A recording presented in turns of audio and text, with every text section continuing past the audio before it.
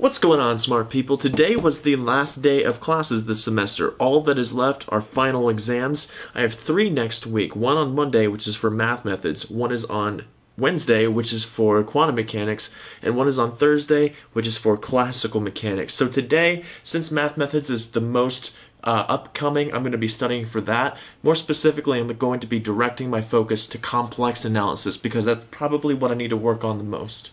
For complex analysis, we covered analytic functions, so holomorphic and meromorphic.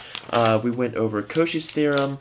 We did the Cauchy-Riemann differential equations, residue theorem, of course, Cauchy's formula, principal value integrals, and the Kramers-Kronig dispersion relation. So really, to study for this, I'm not going to do too much with the notes. What I'm really going to do is, since this uh, complex analysis book by Ahlfors has a bunch of exercises in it, I'm going to work through some of these exercises that have to do with uh, contour integration and just residue theorem as a whole, and then see if I can't find solutions to them online, see if I'm on the right track. If you guys have any nice online resources that you recommend for complex analysis, please do let me know in the comment section. I am getting a little bit ahead of myself myself though because quite frankly I'm not ready to solve complex analysis problems yet.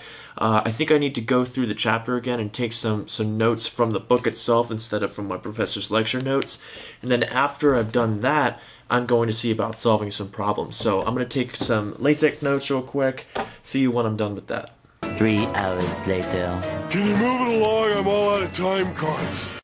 Okay, I've realized how much information there is before there it actually starts to cover the stuff that we were doing in class. I guess we skipped a lot of material in math methods and just went straight to the juicy stuff because this whole chapter 3 of the book that I'm using has uh, analytic functions as mappings and it gets into elementary point set topology and a bunch of interesting sounding stuff that you know we never covered so it, it really makes me wonder how much I'm missing in uh, what we did with complex variables. I'd like to actually delve deeper into this maybe over winter break. I think I definitely overestimated how much I'd be able to get done today. I don't want to push for problem solving before I'm really ready to solve them without referencing anything.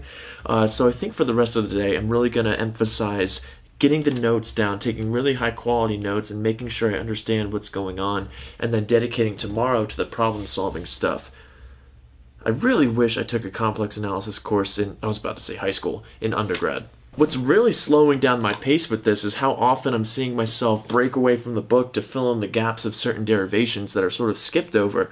You know, unfortunately, you, you kind of grow to expect that from certain physics textbooks, but in my experience, it's pretty easy to fill in those gaps with just certain arguments. So it, it, I guess it's they can get away with that better, but I didn't really expect that from a math book. Or maybe maybe the stuff should be obvious and I'm just an idiot.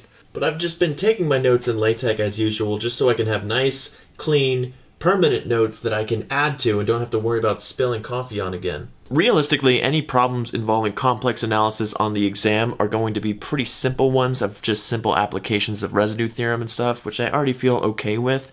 But I'm going to need to have a deeper understanding of complex analysis later on, so I might as well kill two birds with one stone and study it a bit more in depth now. Honestly, this is being a little bit distracting tonight, so I'm going to end the video here and get back to studying. Tomorrow is December 1st, and I know a lot of grad school applications for the fall are due on the 15th or so. At least that's how it was last year. So if you're applying to graduate schools, let me know in the comment section how that's going for you, and I'll see you guys there.